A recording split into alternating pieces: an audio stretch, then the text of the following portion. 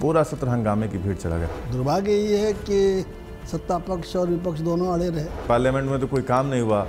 मुंडा जी क्या जवाब देंगे अपने लोगों को? नहीं जो काम नहीं हुआ ये ये तो कसूर मेरा नहीं है ना। आठ नवंबर को जब आप पहली बार आपने नोट बदली सुना क्या महसूस हुआ? क्या लगा आपको? अगर सफलता मिलती है तो जय जयकार होगा। आप अटल आडवाणी जी की बीजेपी में भी रहे और मोदी जी की बीजेपी में हैं। दो सिरे दो अलग अलग धारा में।